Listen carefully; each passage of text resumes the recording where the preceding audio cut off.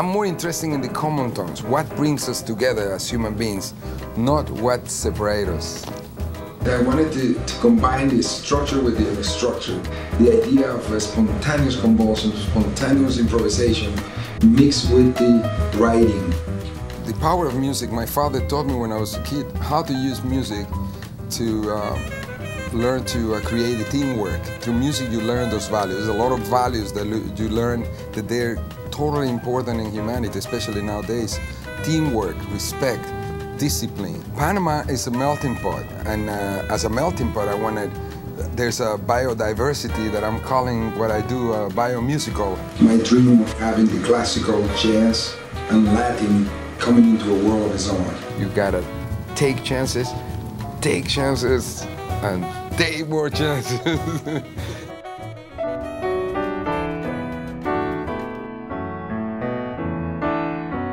there's a lot of tones from my childhood in the record, especially the way I, I learned from my father. For example, when I was a kid, sometimes I didn't like certain classes. You know, I was uh, six, seven years old, and he would put music to, let's say, mathematics or geography uh, class I didn't like. So, uh, you know, two plus two is four, four, two is six, and that's how he taught me to, to look, to use music as a, as a vehicle to learn have a very strong uh, feeling for, for my country and where we're going. There's some really adventurous uh, pieces that that has the feeling of the tamborito, Panamanian rhythm that goes takum, pakututu, takum. A huge inspiration for me to, to make this record all, has been my experience in Panama with the foundation that I created and also the Panama Jazz Festival, who turned out to be an amazing uh, educational convention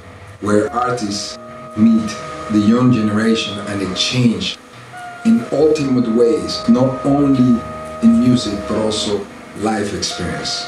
You know, one of the greatest experiences was working with Dizzy Gillespie and some of the greatest masters that I had the chance to, to play with. The, the, the way that they, they approach sharing, it touched me very deeply. Celebrating life through music. That's what I learned from, from Wayne Shorter. I feel that that responsibility because when you learn something from those masters, you have to pass it along.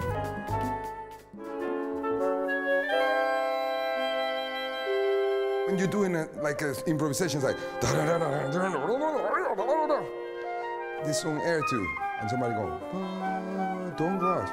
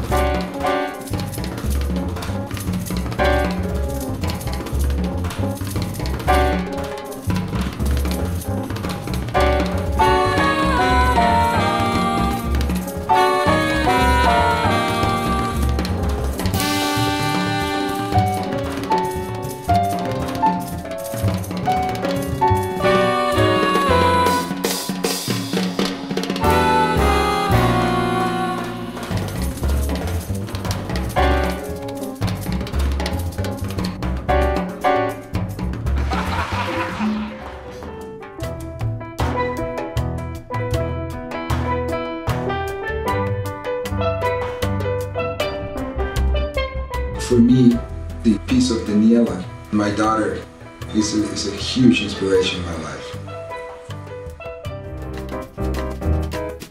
Galactic Panama. Yeah. Oh man, Galactic Same. Panama. That's the hope of, of a Panama in many years to come after 2012.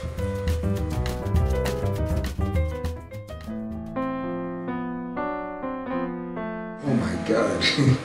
Carlos Eleta Almarán, an incredible Panamanian composer. This piece has walked all over the world.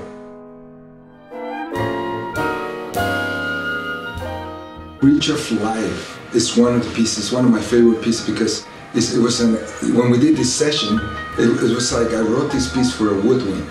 My dream of having the classical jazz and Latin coming into a world of its own.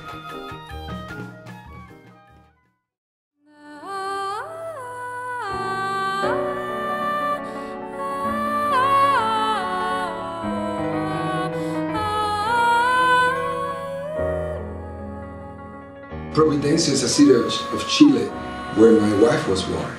And this, this feeling, that, that, that the feeling of appreciation and respect and love that I have for, for my wife, it just came to me, one of those pieces. I didn't even question any note, I just sang it and transcribed it.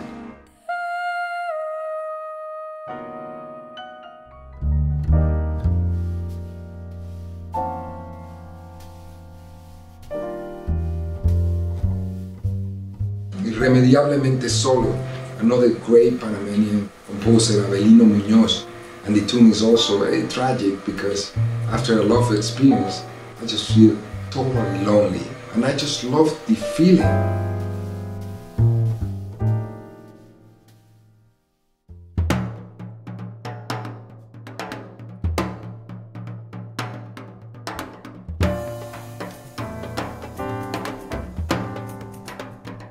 The Oracle. The Oracle is a piece very meaningful to me because he has a he has a meaning of a visionary man. This is a dedication to one of the greatest teacher, Charlie Banacos.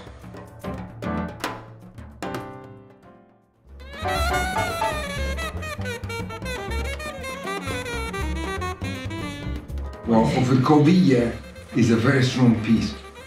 It's about our declaration of getting up doing something for, for our generation. I, I think jazz is one of the best fingerprint that, that humanity created. And that's why, because it comes from adventure and creativity and struggle also, and happiness and all this feeling, as long as we are here, you can't take it away.